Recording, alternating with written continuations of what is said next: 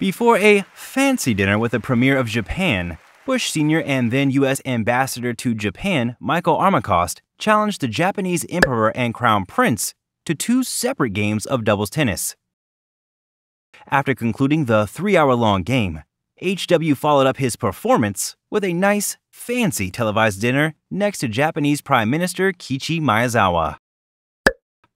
National media was stunned with the sight of Mr. Bush passing out and then vomiting on the lap of the Japanese Prime Minister for all of the world to see.